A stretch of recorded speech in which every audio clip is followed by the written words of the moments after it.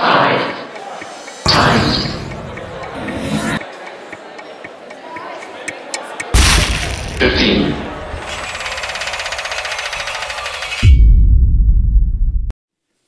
the summer of 1989, I ran away from home to join a circus in Mexico. When I think back on this curious episode in my life, it seems to me like a really odd thing to have done. Because when I was a child growing up, I didn't really like circuses very much. I found them to be really rather sinister places.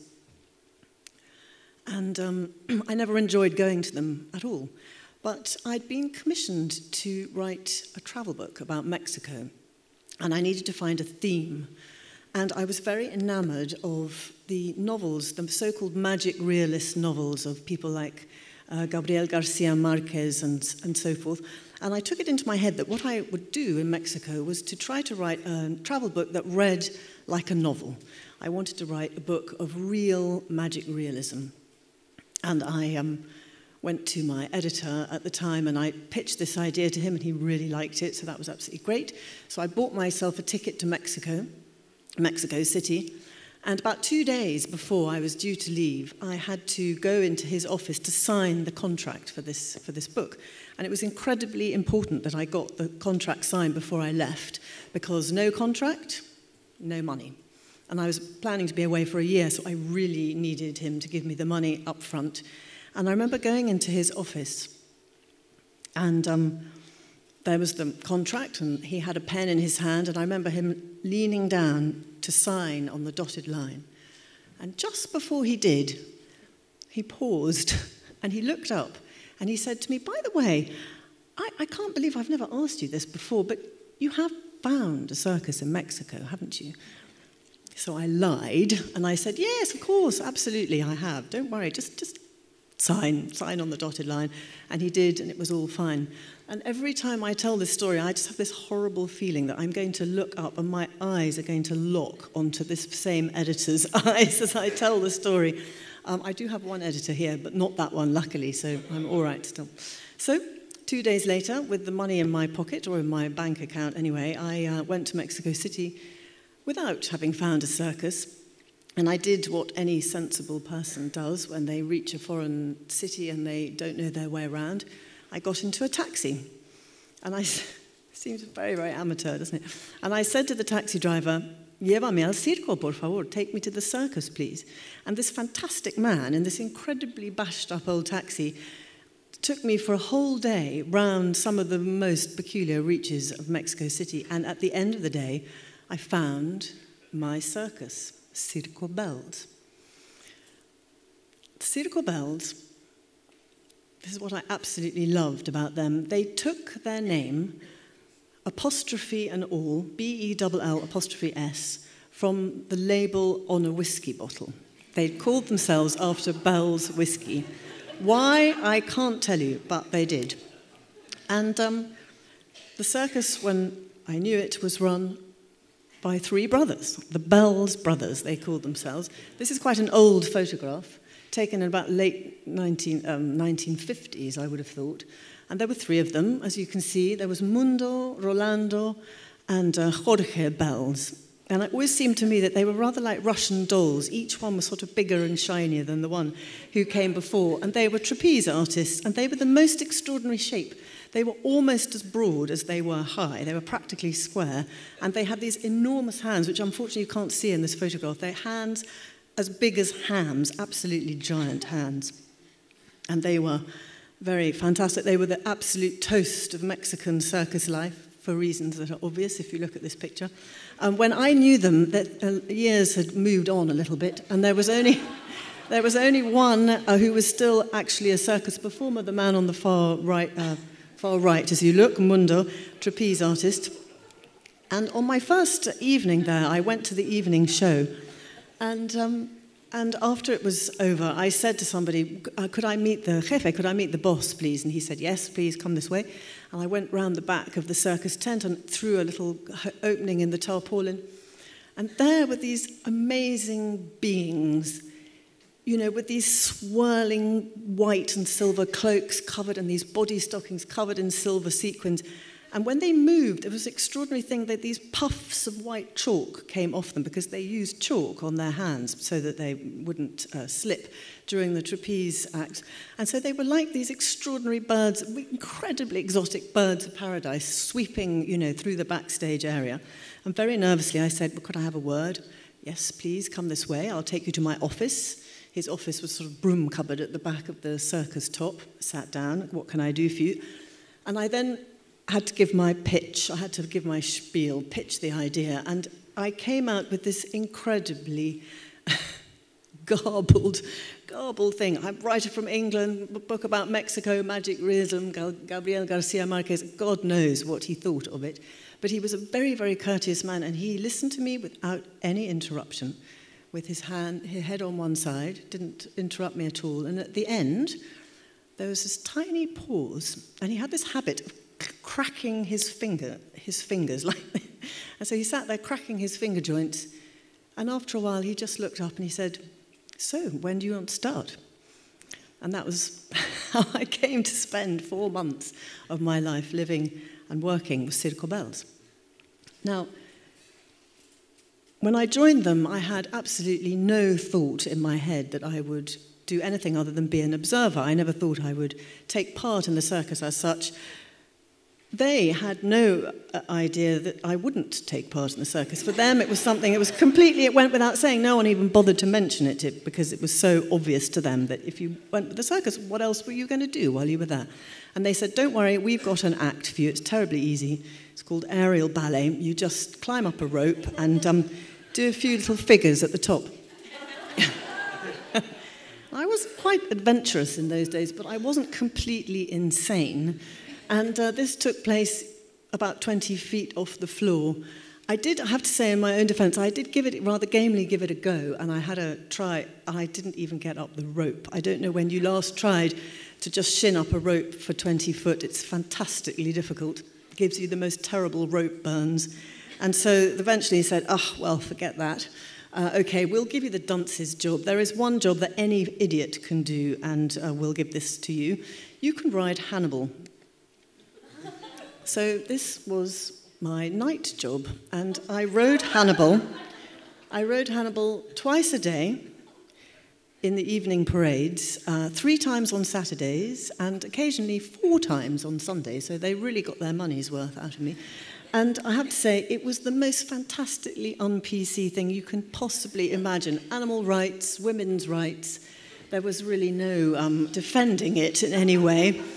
But it, It was the best fun I've ever had in my whole life, with no exceptions whatsoever. And the thing that I'm very um, proud of is that I had my own billing. I was, no, I was actually known as, I was known as La Gringa Estrella. Now, gringa means foreigner, estrella means star, but not in the sort of Hollywood sense of star. It means star as in a sort of sparkly person who doesn't wear very many clothes, but they've got a lot of sequins on them. And it was very, very good fun. And I, one of the things that they had was this very, very, very bad tannoy system on a little truck. And this truck would go round the various venues where we were, and it would announce the circus. And um, I, every so often I, I could hear my name being called out in sort of varying degrees of being near and far. La Gringa Estrella, they would go like this. And, uh, and the other great thing was uh, Kati, that's right, Kati. They, my, my name's Katie, but they used to call me Kati. Kati la gringa estrella. And then El Cir Circo Bells, their great line was El circo más famoso en todos los Americas, the most famous circus in the whole of the Americas, which of course they weren't at all. Um, they, um, there was a kind of, kind of tinsely glamour about the whole thing, but the reality of this life was very, very different. And I put this picture in just to give you an idea of what it was like behind the scenes. Um, the circus had the same kind of problems as itinerant people anywhere in the world. So they were very much treated like outsiders and treated like gypsies and treated rather badly by the people in the places they went to. They were harassed, routinely harassed by the police. The boys were often picked on and beaten up. But they were very, very doughty, and they kept things going and they kept their domestic lives going under the really very difficult um, conditions. Um, and I particularly admired the women because they work so hard. And this is a picture of Mara. This is the aerial ba balista. This is her day job, washing clothes for her brothers and her father. Every drop of water that they used had to be lugged in buckets from a faraway tap. It was, was, not, it was not an easy way of life. But the thing that kept them going was the fact they had this very, very strong family. And they were the brothers, they were the people who ran the circus, but really the real power behind the throne was this woman here, Doña Elena. She was the matriarch of their family. She didn't live at the circus anymore. She was in her 70s when this picture was taken, and she lived in Mexico City. She used to come on a Sunday to tell them all off. And her grandchildren, who were a very um, sparky lot, would try to sweeten her temper by buying her ice cream. Um, it never did any good. She told them off anyway. But she was an amazing woman. She had been married at 14 at gunpoint. This is a peculiarly Mexican story. And to a man that she claims to have absolutely hated all her life. But she nonetheless went on and had 13 children by this man. So something worked somewhere along the line. And uh, it was these 13 children who made up the circus at various times. And when I was there, it was their grandchildren who were the, mostly the circus performers. And they started very young. This one is Lelly. She was the youngest when I was there. She is the daughter of the trapeze artist who I showed you earlier. She was just three when this picture was taken, learning how to be a clown. Um, I love this picture. The, the circus was the actual people of the, of the family, the so-called Bells family, but it also incorporated a, a kind of wider family. It's something of a cliche to say that circus people, the circuses are full of runaways and orphans and dispossessed people of various kinds, but this is absolutely true in the case of Circo Bells. And it was quite a good symbiosis, really, because the circus couldn't afford to pay very much to people, and these kids, really. Um, had were street children, some of them, or they'd been kicked out of home, or they'd come out of jail, or there was some reason why they had nowhere else to go. And the circus gave them a job, and it gave them a roof over their heads, and it also gave them this very strong sense of community. It was a ferociously loyal pack, really, that we travelled with, and that's what kept them going and kept them safe. There was a lot of sex in the circus. A lot of the boys had run away to the circus because they'd fallen in love with one of the girls, or, and occasionally vice versa. And I used to think that it was a really good thing because it helped them to transcend this life that was really quite tough and quite brutal at times. The book that I wrote at the end, after my whole year in Mexico, um, didn't turn out to be at all the book that I thought it was going to be, for a start. I thought that I could travel with them for the whole year and I could see the rest of Mexico when I was doing it, but that was impossible because while I was with the circus, I could have been traveling in Timbuktu and it wouldn't have made any difference at all. It was so absorbing being there and listening to the stories of the people. That's what the book very largely became. And I put this picture in because their story is particularly remarkable. Ilish and Olga. Ilish had been had been orphaned very young, gone on the streets, been put in jail. He was very good at fighting. And the prison guards where he, were, uh, where he was in the prison in northern Mexico ran him as a prize fighter, as a business venture the, from the prison where he, he, he was. Um, prize fighting, you know, the Mexicans don't have a terribly high notion of health and safety, but even in Mexico, prize fighting is illegal because it's so brutal.